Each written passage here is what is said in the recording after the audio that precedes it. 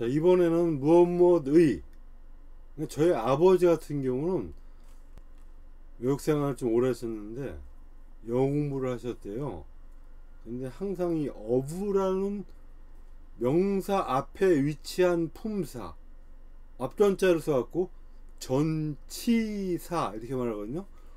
이 어부라는 전치사의 의미를 그렇게 공부해도 잘 모르시겠다고 그러더라고요. 근데 수화로 나타낼 때 이렇게.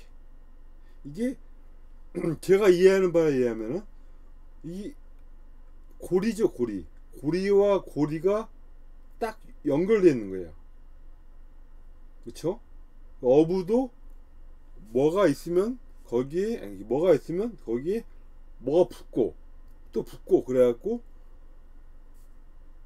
누구누구 A에 B에 C에 D에 F에 이렇게 사람으로 치면은 이제 자손을 얘기할 때도 누구의 자손 누구 누구의 자손 누구 이렇게 말하잖아요. 그때도 어부를 쓰겠죠.